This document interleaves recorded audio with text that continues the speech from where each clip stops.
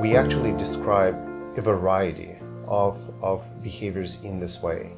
Um, one is micromanagement that is driven either by personalities of leaders or their aversion to risk in environments of significant uncertainty and change.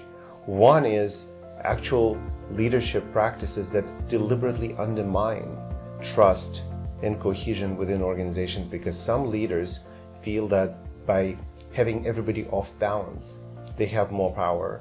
And of course, that decimates agility. Indecision, diffusion of responsibility, willful ignorance or suppression of dissent and truth are all elements uh, driven by leadership practices or by culture that seriously impair agility.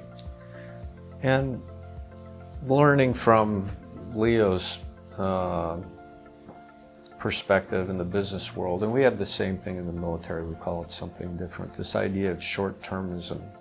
This idea that I can only see this far in front of me and I need to react to whatever change is happening at, you know, in a split second. And not thinking through and understanding uh, threats and opportunities as a result of trends, as a result of uh, many factors in the environment that are causing the disruptions in front of you.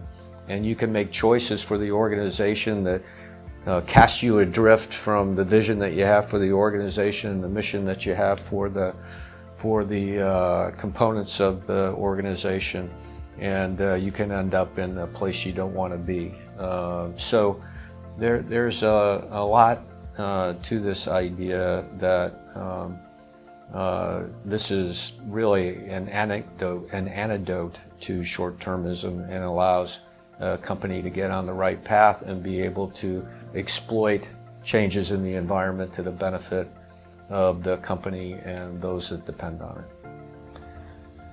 To define agility truly comprehensively, we felt we had to bring together a number of different fields that don't usually coexist. And that extended beyond just business and the military.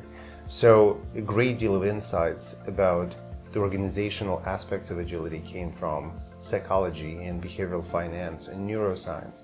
And in neuroscience, one very interesting set of insights has to do with describing organizations just like people as top brains and bottom brains. And the two have very different roles and they have to interact and collaborate in meaningful ways.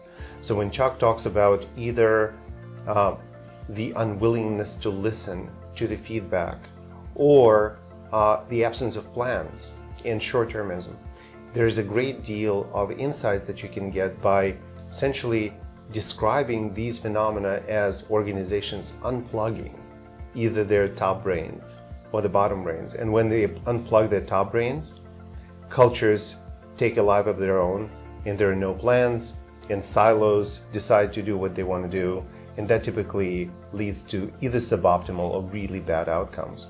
And vice versa. When top brains have a vision and a plan and they refuse to listen to the feedback from their people or suppress dissent, they typically get, can get into trouble as well.